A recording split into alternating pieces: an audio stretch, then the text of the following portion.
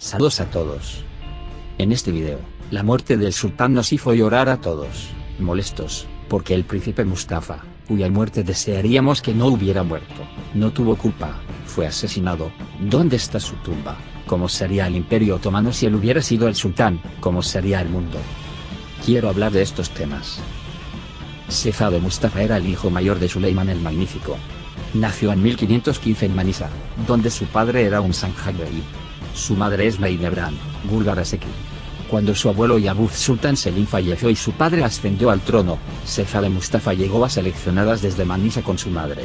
La otra esposa del sultán, Urimaseki, que se ganó el corazón de su marido con su inteligencia y belleza, trajo a los niños en el mundo uno tras otro y ganó la reputación de Maidebran cayó en descrédito. Por esta razón, de Mustafa se volvió contra Urrem Sultán. Maidebran quedó sin poder cuando de Sultan murió en 1533. de Mustafa se parecía a su abuelo Yabuz Sultan Selim con su cara y su comportamiento. Se esperaba que reemplazara al sultán cuando llegara el momento. 46 El sultán Senegibi permaneció en el trono durante mucho tiempo. Después de la joven muerte del príncipe Mehmed, el amado príncipe del sultán, llevó a Bayezid y Selim a las expediciones, y su corazón fue interpretado como estando de su lado se corrió el rumor de que Urrem Sultan y su hija Mirima Sultan y su yerno Rustika Pasa estaban trabajando para detener al príncipe Mustafa del trono y no le permitieron reunirse con su padre.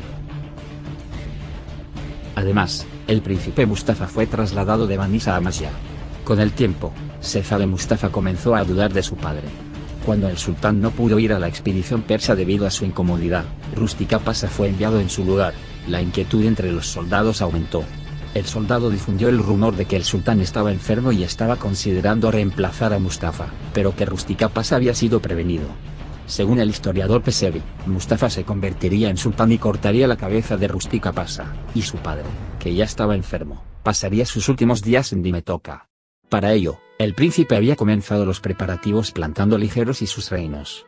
Aunque las narraciones de los historiadores son diferentes, se puede ver que la tensión entre su padre y el príncipe creció en gran medida, el sultán, que había oído rumores sobre esto durante mucho tiempo, primero no quería creer que su hijo estaba involucrado en una conspiración contra él. Dijo que sus enemigos estaban tratando de engañarlo, mientras propagaba rumores. Sin embargo, cuando recibió correspondencia con el Shah de Irán, tomó su decisión. Según estas cartas, que hoy se guardan en el Palacio Topkap, el príncipe se casaría con la hija del Shah y tomaría el trono con el apoyo de Irán. Más recientemente, el príncipe de Persia, el Kasmirza, se había rebelado contra Suleiman el Magnífico. En la ley islámica, estar en preparación para un levantamiento significaba lo mismo que la rebelión. En la historia otomana, también hubo príncipes que se rebelaron contra su padre y lo sucedieron. Su abuelo, Yabuz Sultan Selim, a quien Mustafa Sefade era semejante, y su padre mayor, el sultaní. Destronó a Bayezid y lo envió a Dimetoca. Este recuerdo, también, todavía estaba fresco en la mente y probablemente influyó en el sultán Kanuni también. El sultán mismo fue en la expedición de Nakhichevan. De hecho, esta vez fue en el príncipe Mustafa. El príncipe, que estaba en Amasya, partió con sus soldados para encontrarse con su padre y unirse a la expedición. Su hermano Eleikar Pasa le dijo que no se vaya y le informó del asesinato, pero el príncipe, preocupado de que el asunto iba a ser más difícil, no lo escuchan.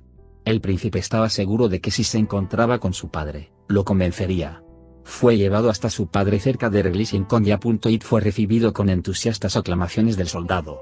Siete los ejecutores mudos lo saludaron cuando entró en la tienda con esta alegría. El príncipe, que pensaba que estaba enfrentando una conspiración, comenzó a luchar. Derribó a todos los verdugos. Sin embargo, cuando la falda de su vestido cayó al suelo, fue más tarde ejecutado por Salman Mudaga, que era el novio del palacio y se construiría una hermosa mezquita para Eyüptemimar Sinan, de acuerdo con la antigua tradición turca, que prohibió la sangre de los miembros de la dinastía derramar en el suelo, al ser estrangulado con Kikaen.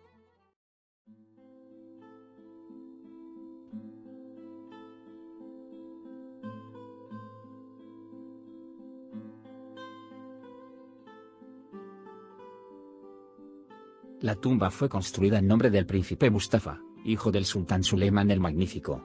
Fue construido por Selim en 1573. El cuerpo del príncipe Mustafa, quien murió en Iglesia en 1553, fue llevado a Bursa y enterrado en otro lugar durante 20 años después de ser enterrado en otro lugar. El arquitecto de la tumba es Mehmet Sabus, uno de los sargentos de Derga Ali. En la construcción del edificio se utilizaron algunos materiales de construcción del período bizantino, como losas de mármol y columnas del Palacio de Bursa.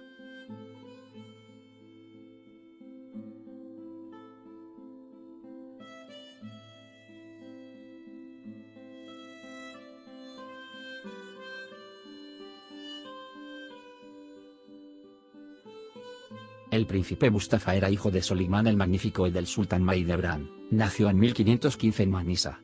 Cuando Yabuz Sultan Selim falleció en 1520, fue a Estambul con su padre, quien fue a Estambul para sentarse en el trono otomano. Hubo una gran lucha entre su madre Mahidevran Sultan y Urrem Sultan para llevar a su hijo al trono.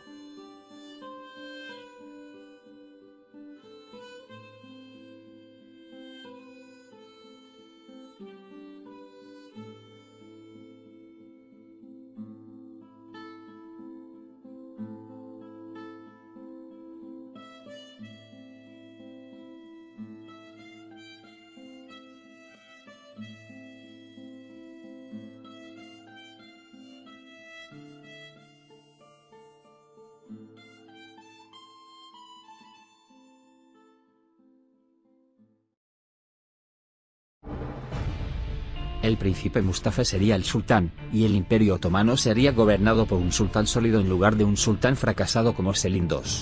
En respuesta a la mentalidad reaccionaria que consiste en Urrem y Rustem Pasa, Barbarossa Eretin ganaría alas consistentes en ideas importantes y científicos como Piri Reis. El horizonte del otomano se abrirá. Piri Reis, uno de los eruditos más importantes del imperio otomano, daría a los otomanos una gran visión. Sefa de Mustafa, él mismo un marinero, se centraría en los mares e iniciaría exploraciones geográficas. En ese momento, los marineros otomanos ya estaban organizando expediciones en todo el mundo. Barbarossa Eretin Pasa, el mejor marinero del Imperio Otomano, describe en sus memorias, le dije a Rustem Pasa muchas veces, organizarnos expediciones al Nuevo Mundo. Seremos de gran beneficio. Yo dije. Él se negó cada vez. Dijo que el Mediterráneo era suficiente para nosotros pero los españoles se beneficiaron enormemente del Nuevo Mundo. El Islam sería la religión indiscutiblemente más extendida en el mundo, ya que el cristianismo se extendería poco en todo el continente de América. Dando importancia a la ciencia y la educación, Sefa de Mustafa avanzaría el imperio otomano en la ciencia.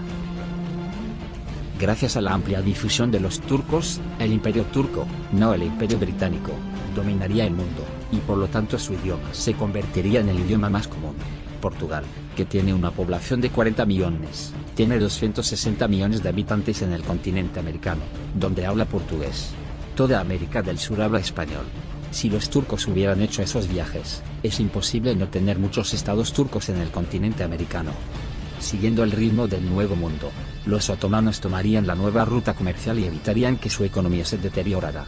El Imperio Otomano, que tuvo que hundirse porque se perdió la revolución industrial, no se perdería la revolución industrial. Estamos hablando del amigo más cercano de Sefa de Mustafa, Yahya de Taslka. Así como William Shakespeare fue reconocido por ser uno de los escritores y poetas más importantes de la lengua inglesa, Yahya de Taslka debía ser reconocido y respetado en todo el mundo como uno de los escritores y poetas más importantes de la lengua turca.